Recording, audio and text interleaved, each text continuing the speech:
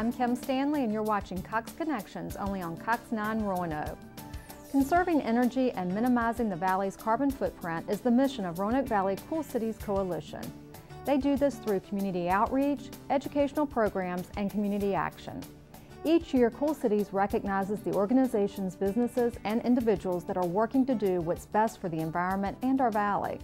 Cox is proud to be a Cool Citizens Award winner. Here to tell us about the other winners are Cool Cities founding directors Diana Christopoulos and Mark McLean. Thank you both for joining us today. Thank you. Why is it important to recognize the businesses and the, the leaders in the community and individuals um, as it relates to these environmental efforts? Well, we think it's it's a really positive thing, and, and we, we think you, you just can't recognize people who are do, doing good environmental works too much. You know, uh, it's now really become a, a big part of our um, our programs, one of our signature programs, and we specifically are looking for people who are doing things to help the environment by reducing their carbon footprint or the greenhouse gas emissions. That's great. Cox was recently awarded um, the, the Media Cool Citizen, let me make sure I get that, Media Cool Citizen Award. Who were some of the other winners? Well, Cox has a, a, a richly deserved that award uh, with all the things that, that have been done here with energy conservation, uh, the electronic waste recycling. Mm -hmm. In fact, uh, Cox participated in our pilot program for our Cool Green Business uh, right. uh, certification program. Uh, other winners included the uh, uh, Roanoke City Public Schools. They won the top prize, a Special Achievement Award, because they won a, a statewide contest for the Green Schools Challenge that was held last year. We also had uh, individual winners, a fellow by the name of Keith Weinworm, who's a great volunteer on our Green Business Certification Program. Mm -hmm. uh, Steve Sunderman, local architect, uh, got that Schools Challenge program going here in the Roanoke Valley or in Southwest Virginia, really the whole area. Uh, we had in the government, we recognized uh, Anne Marie Green and uh, Jim Vodnek in Roanoke County, who've done a lot of work with their Citizens Committee and the reduction of greenhouse gas emissions for the county. And also, um, Horn Elementary in Vinton, who've done some really interesting things to green up their, their school out there. Uh, on the business side, we had Member One Credit Union, which uh, built a certified green building uh, to house their new facility there, and also Katie Wallace, of the Wallace Agency. And uh, the, she's been very, very involved in Roanoke City uh, Citizens uh, Committee that's working on their greenhouse gas emissions.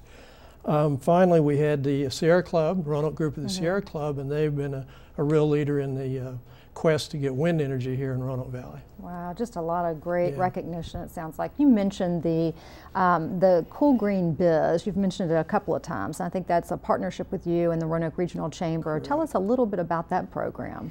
Well, the thing we love about that program is, is it, it's an example of how doing the right thing is good for business. Mm -hmm.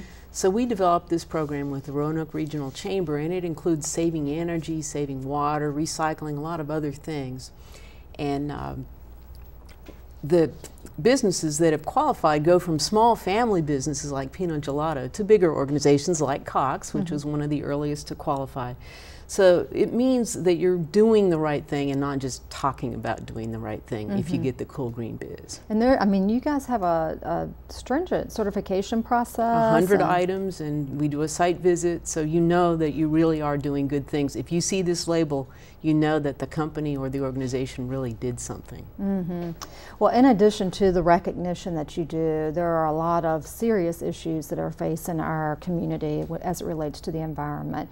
Why don't you tell us about um, what, what your group sees as the most important ones that, okay. that we're facing across our region? Let me talk about two big challenges and then two really great opportunities for solutions.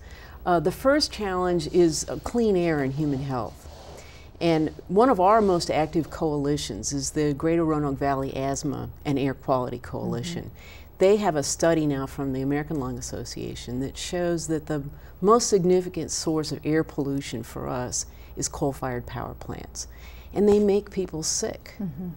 They make children sick, especially older adults, people who are active outside like you mm -hmm. and me that run and walk. Um, and people that have heart disease, respiratory disease, or diabetes. In our area, which relies on coal for over 80% of its energy, we're very pleased to hear that the new leadership at APCO is talking about cleaner energy sources. But that's our first problem. And the second one's related sustainable economic development. Mm-hmm. We have so many assets here beautiful mountains, a wonderful greenway system, lots of outdoor activities, but we can't take full advantage of them until we keep cleaning up our air. And in fact, last year, Microsoft didn't locate in the Christiansburg area, and one of the reasons they gave was they couldn't get access to clean energy sources. Mm. So I think in the future it's going to be important for us to attract new business to clean up our energy supply. So those are two related issues.